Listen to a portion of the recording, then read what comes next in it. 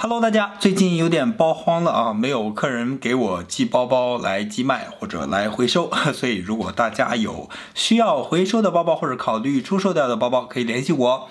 呃，今天聊一件什么事情呢？其实不能算一个事情吧，算一种现象啊。比如说，像我在网络上已经生活了九百多期了，九百多天了，呃，视频发布出来已经有九百二十多期。在这样每天一期的过程当中呢，我经常会说感谢我的视频观众给我提供的什么什么东西，比如说提供一个 idea，我可以做一期视频，或者是纠正我一些错误，或者呢是和我探讨。一些问题，也会有很多朋友找我寻求一些帮助，比如说看看这个包包的真伪。其实，在网络世界里面，不光是正向的这一面，其实还会有很多负面的东西，只不过我不会把它呈现在我的视频里面。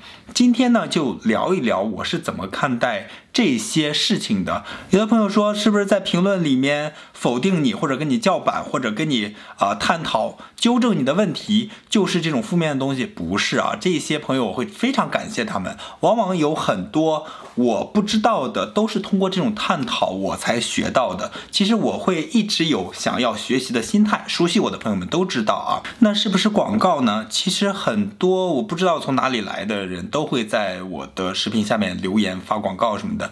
只要我看到，只要我看到，都会把他们删除掉。同时呢，我还记得有几次都是客人提醒我啊，哪期下面有广告，呃，请及时删除一下。删除他们并不是因为同行是冤家，不是这样的，而是因为我没有办法保证他们的东西的品质，所以我没有办法让他们的广告出现在我的视频的下面。还有一种呢，是对我个人的重伤，这样的观众还是比较少的啊。这样的人可能就是抱着一种刻板偏见，他觉得你这个长相啊，怎么让我这么讨厌呢？啊，这种刻板偏见的情况下，在网络的保护下，就说一些可能言不由衷的话，或者说一些事后他自己都会后悔的话。那对于我来说，就会觉得嗯，挺难听的话。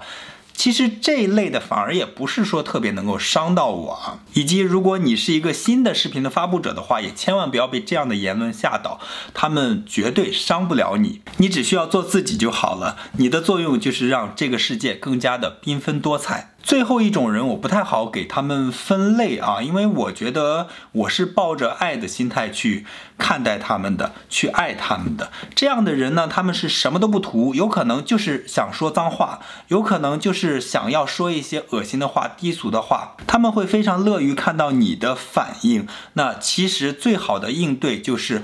不给他们任何的反应，这样的人呢，我会觉得他们有一些心理问题，他们会觉得我小时候的某一件事情伤害到我，导致我现在对社会上的一些事情不满，然后呢，我需要用侮辱性的语言去报复这个社会。其实他们不知道的是，他们谁也报复不了，他们只是在伤害自己。为什么说我会用一种爱的心态去对待这些人呢？虽然我可能会删掉他们的评论，因为这些评论。让谁看了心里都会不舒服。我对他们的爱是期待他们有所转变，在他们不断的成长、年龄的增长、身边的人事物的变化当中，我希望他们不断的成熟起来。在我的理解里，有的人可能十几岁啊，不到十八岁就已经心智成熟了。